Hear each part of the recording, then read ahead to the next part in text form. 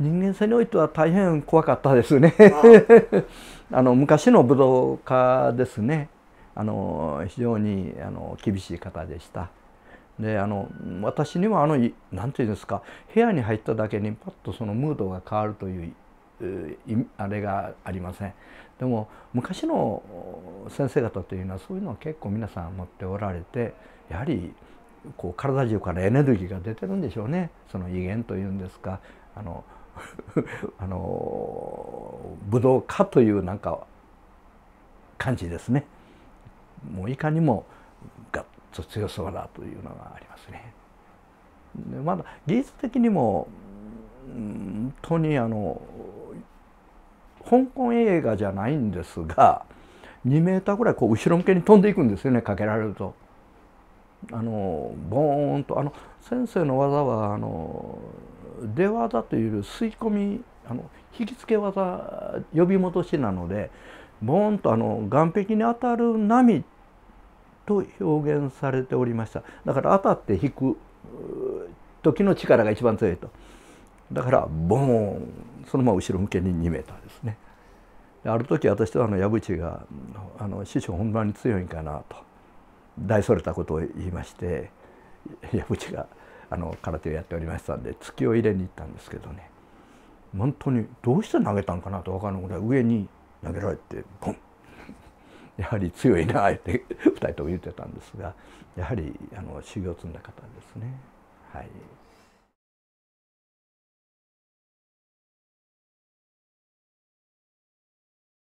あのあの当時のあの内弟子という立場はどうなんでしょう。私詳しくそういうのあたりのあれは知らないんですが、まあ、あの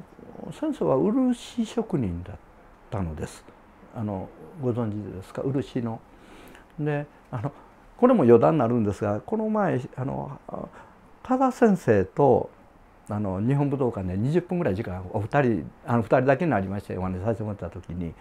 小林君はねあの漆でしょみんなこう稽古したらここかぶれたりしてねとか言うてで先生大丈夫だったんですか？言ったら私は大丈夫だったよ。って言ってはったぐらいあの仕事をしながらなんか稽古やってたように思っております。だから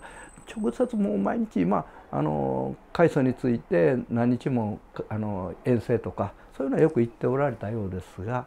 どういう形の内弟子かっていうのは私ちょっと存じ上げません。はい、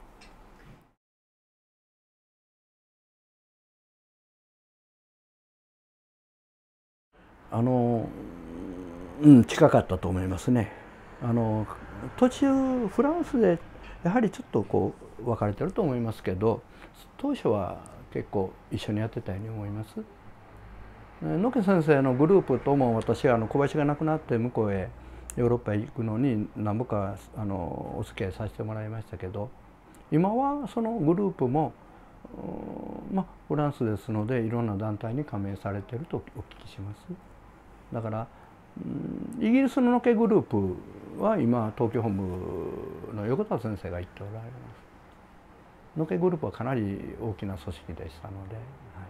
はい、小林とは当初仲良くやってたように思うんですがその辺りちょっと詳しくは私のまだ認識ではございません。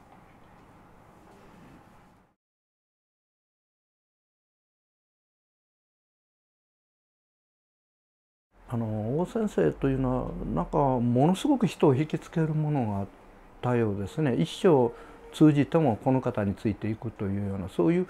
何か魅力を持っておられた方のようですねだから幾人ものその当時の先生方がもうあの王先生王先生と言うて本当一生を捧げておられました。小林もその一人だと思いますね。何か強烈にあの人をこう引きつけるというんですかね。なんかそれがあったようですね。小林は本当に心底あの海藻にあの浸水しておりましたね。はい。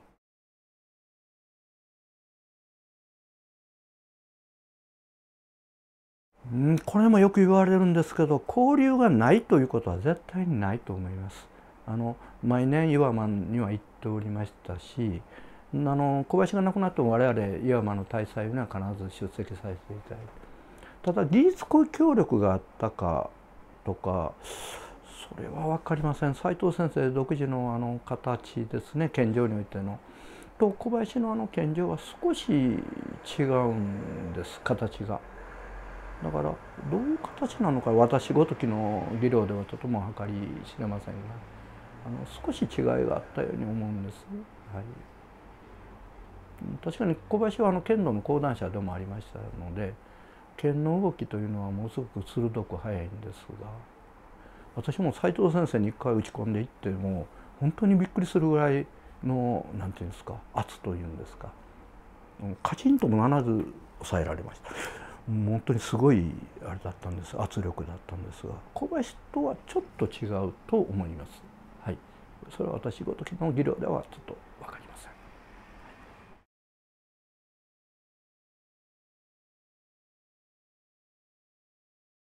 うんヨーロッパでは非常に剣の動き上の動きが多いですね。だから日本の弟子たちよりもヨーロッパの弟子たちの方が剣闘上はよく練習してたように思います。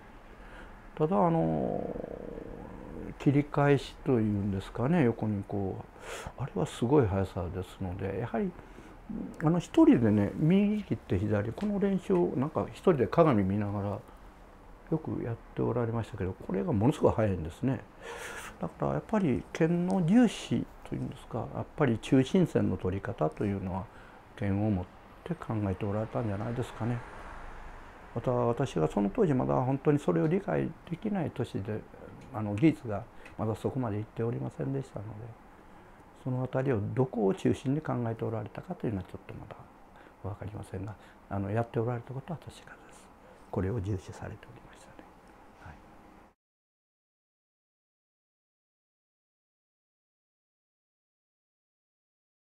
とねこれはよく雑談あの正式なお話を聞いたわけではないんですがあの日田先生もかなりご高齢の時で小林はまあ若かったので非常に可愛がっていただいたようには聞いております。で久先生からあの大阪に大きな大学があります桃山学院大学と申しますがそこの初代あ久先生が合道部を作られました。で初代キャプテンがあの小林先生です。あの大統領の多古会幹事幹事長の小林先生です。でその時に石田先生がもう私は高齢だから小林君君があの桃山を見なさいとあの預けられたというのは聞いております。だからあの今の多古会の、えー、小林先生とか川辺先生ですねそういう方々は桃山大学でで小林が教えも教えておりますので両方の合気道もできたということですね。はい、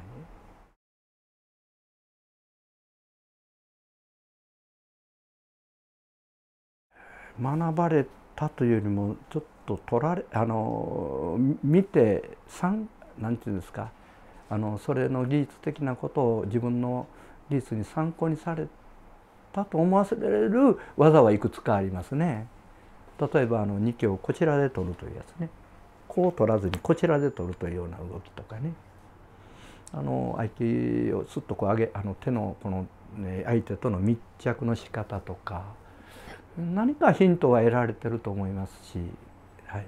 あの私自身も大統領のあの川辺先生とよく演舞を一緒にやらせていただいたんですがあの先生のやっぱり素晴らしいその手の動きというのはだいぶ参考にさせていただきました。はい、だからつながりはパッと分かりませんがなんかあのそれにヒントを得られたようには思いますね。はい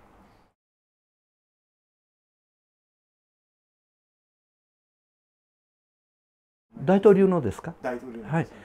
あの演舞会はよく行かれましたで私があの小林一門あ小林部一会の代表でよく演舞をやらせていただきまし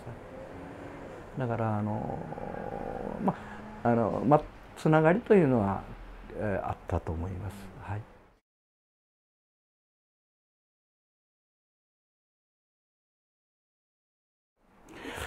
うん少しこれは私のあの感じであのその正式にお聞きしたわけでも何でもございませんが見た感じではあの技にいくつかのそのそういう形は残ってはいるんですがやはり本質的にはやはり小林は小林の形であったように思うんです。で習われたというよりも参考されたと思いますが別にあのどうですかその辺りがあの久先生についてやっぱり技術を教わったのかそれともあの稽古を見ながらそれを自分のものにしたのかちょっと私はちょっとあのわからないというのがあの本当でございます。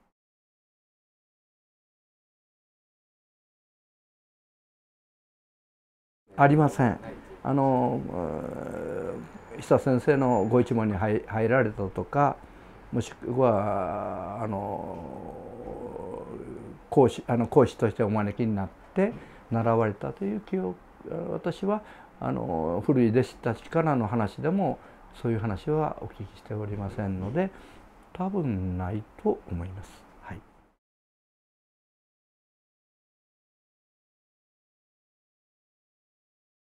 タグマ会というのは私あの大統領の中でも、えー、本当に大きな団体だと思います。であのやはりそれは森先生を中心にしっかりしたあの組織づくりされてで今は一般財団法人として認可されていると思います。本当にあの関西一円でたくさんのお弟子さんがいらっしゃいます。えー、まあ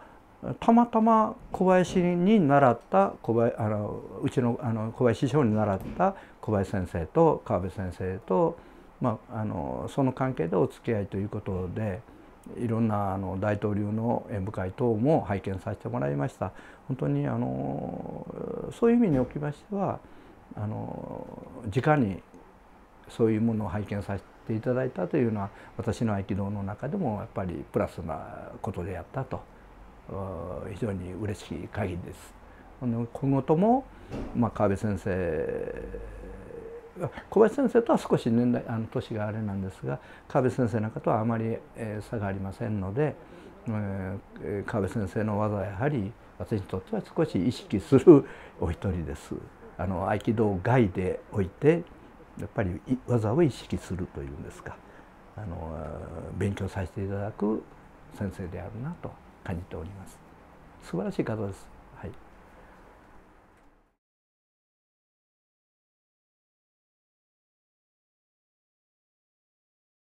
ちょっとご質問なされておりますお二人とも合気道をやっておられるということであのお分かりになると思うんですがあの合気道には上下運動で崩す場合と横に崩す場合があります。で横に崩す場合はあの相手のを自分の中に吸い込むか相手の気持ちでを指して自分が入るか。で上下の場合はいかに相手の力を真下に落とすか中心崩すかという問題なんですが小林の技はどちらかというと横崩しが多くあの取り、えー、吸い込みですね。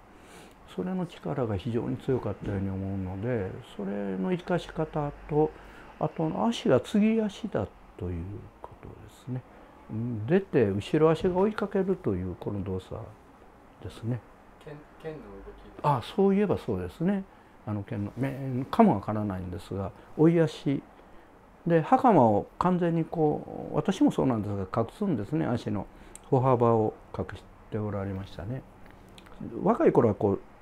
ですけど晩年はものすごく狭かったように思うんですがで入って追いかけるのかあの引き込んで合わすのか。で引き込みがものすごく強い先生でしたね。で手はあの2に返して小手なのか小手に返して2なのか。で3に返して小手なのか。結構この原理ですね。で完全に4にとってこちらに返す小手なのか。そういうあのこれの変化が非常に特徴的ですね。ただこれには非常に訓練鍛錬がいりますのでおそらく相当こういう柔らかさ強さ柔らかいだけではやはり難しいしあの海外の方はごっつい力でお持ちの方をこう柔らかくというやはりこれの鍛錬が強かったかな先ほど申しましたあの大統領なんかにこうひっつく技法ありますよね。ああいうのはこういうのも入ってるのかなとも思うんですけど私は。私もこちらのとひっつける面とかこちらをひっつけるもの非常に多く使うんですが何かこのこの感じの技多いですね。こう切るとかいう技じゃなくてできるだけひっつけてこうあの体でねじ っていうんですか。これが私の場合こちらの膝からこうねじるんですが師匠の場合はもう本当にこう柔らかくこれでピンピン。という感じですね。これが特徴だったように思います。あとまあ手技にごまかされてしまったらいけないんですけど本質は足かなと追い足で継ぎ足っていうんですか。返し技も返し技好きでしたね。あの返し技っていうのは、うん、本当に皆さんご存知の通り本当にかかってしまう難しいんですよね。あの技量のある方にパシッと決められてしまったら返せるもんじゃない。でその中においてこう相手の力を読むとかあの決められながら柔らかく返すとかそういうのはなんか好き技は好きだったようですね。返し技は非常に多いです。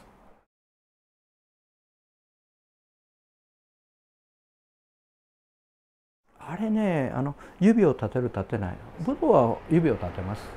あの尊教っていうのペットを立ちますよね。小林はあの立たずにペットを押さえることが多かったんです。だからおそらく、うん、引き合わせっていうんですかこのこれが強かったからできたんじゃないですか。下手なもんがやると引っ張っちゃうんですねこう。あれ引っ張ってるんじゃないんですね。やっぱり膝この肘が回転していきますけど肩がね。だからやはりこうこういうのが非常にお腹でやってたように思うんですがね。手でこうじゃなくてお腹でこうやると。だから技だったと思う。だから足が立てる立てないの問題前にパッと押さえてましたね。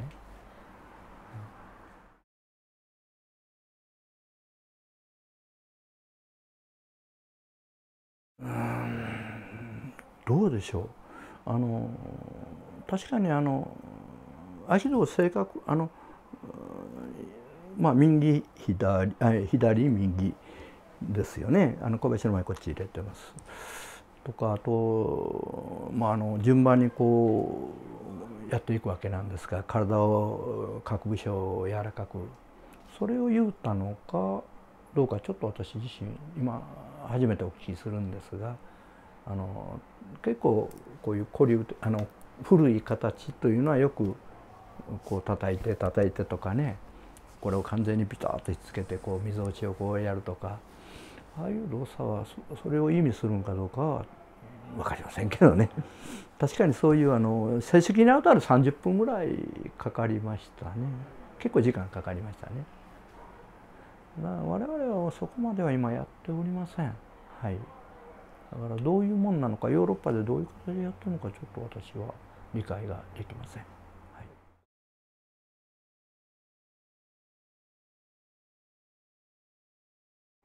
でしょうね。あの結局あの今の稽古というのは1時間単位でやっておりますよね日本の場合は。体操にまあ体操健康体としてやられるんやったらそれもいいと思います。30分じっくり時間かけてやられたらいいと思います。あの合気道の一つの教室で教室ということはいけませんね道場としてやるならばちょっとやっぱりあのみそぎはやりますけどあとはもう各自普段からやっていくもんやなというのは私の考え方なんです。みそぎはちゃんとやるべきなんでしょうけどね。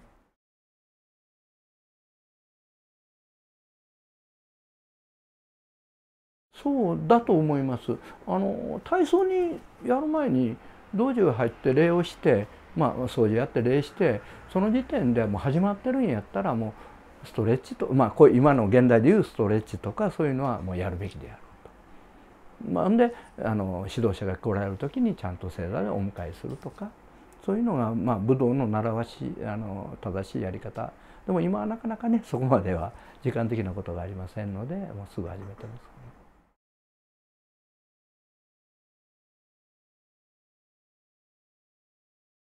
私の技に興味持っていただいたら本当に感謝しますけど、まあ、私の基本というのはあのくんまあいわばダサいっていう言葉ありますよね。あんまり美しくないんです。でやっぱり自分の訓練訓練で鍛えた作った技あの形なので肩というのは本当に繰り返さなければうまくならない強くなるで少しやらなかったら肩落ちていくんですね。だから1年空間空いてしもたらもうダメやとかね本当にこれのの練習において大変ですね。まあ面白い私の合気道面白いという人は面白いでしょうね。